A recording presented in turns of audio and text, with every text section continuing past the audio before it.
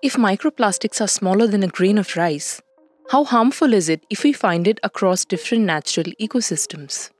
Researchers from the University of Canterbury collected samples from 19 sites and found an average of 29 particles per litre of fresh melted snow in Antarctica. This is higher than what has previously been reported in the Ross sea shelf and Antarctic sea ice.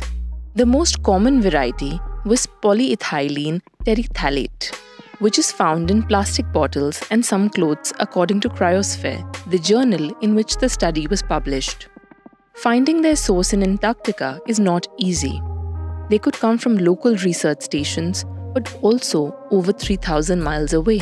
While microplastics have previously been found in sea ice and fresh water, this is the first instance of it being discovered in fresh snow, indicating that they are now airborne being carried across boundaries and settling into locations through precipitation, somewhat like acid rain. Apart from deep oceans and remote corners of forests, in 2020 they were also found at the summit of Mount Everest. Microplastic pollution has multidimensional adverse effects. When algae or a heavy metal gets stuck to a piece that is wading across the world, harmful substances can land up in places where they would otherwise not be found.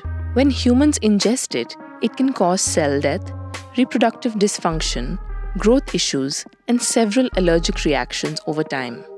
Researchers also claim that dark colored microplastics, along with substances like black carbon, which absorb light, are also making the glaciers melt faster.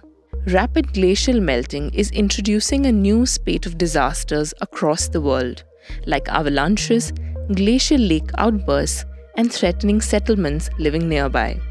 Currently, about 100 million tons of plastic waste leaks into the environment. This is likely to double by 2060.